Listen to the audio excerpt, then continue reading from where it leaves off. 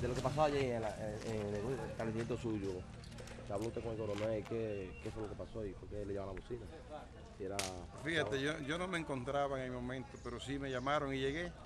Entonces quise hablar con él, le dije que me, que me concediera un minuto de su valioso tiempo. Y rotundamente me dijo que no. Que él no tenía tiempo para hablar conmigo, me trató como si yo fuera una persona, como si fuera un delincuente, que yo quería hablar con él que fuera a su despacho.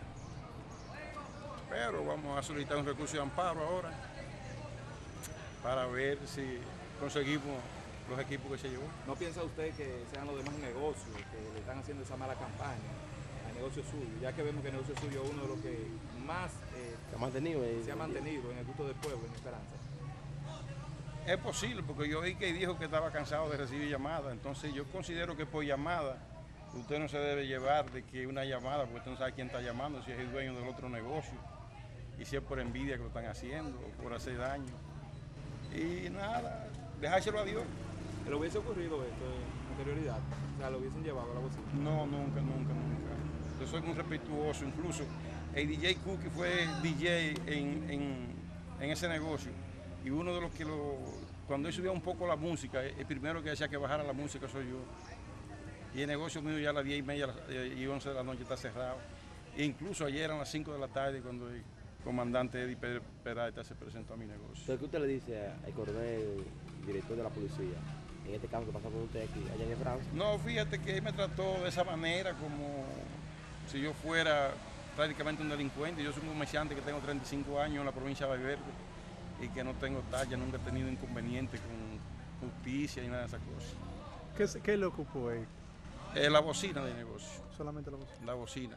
Pero supuestamente porque estaban altas. Yo considero que para usted creer que una cosa está alto, que un volumen está alto, usted debe medir lo, decibeles para ver si está alta. No porque usted le salga de su, de su sentido, de su gusto decir que esto está alto. Porque si él me dice a mí, eso está alto y me lo comprueba que eso está alto, mire, es este volumen que debe de tener, yo se lo acepto. Yo se lo ayudo a montar. Porque yo nunca, nunca he querido estar en contra de la ley. Andaba con miembros de la fiscalía él. No andaba solo, Él. ahí solo. Pero no- con varios, con no, varios pues, militares, con varios, con varios policías. no, Pero no le hizo una advertencia, el, el, el sistema no la No, baja, no, no, no, no, no. Te digo que le dije que me escuchara porque me cediera un minuto de su valioso tiempo. Y me cerró la puerta de la camioneta. Nada, le damos las gracias al coronel Eddie Pérez por su comportamiento.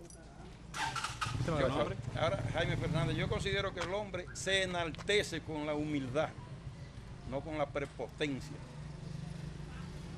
El hombre es grande por su humildad, no, con prepotencia. Con la prepotencia usted no llega a ningún lado, a ningún lado usted va con su prepotencia. El hombre humilde es lo más bonito que hay, eso te da grandeza. Gracias. Gracias. Gracias.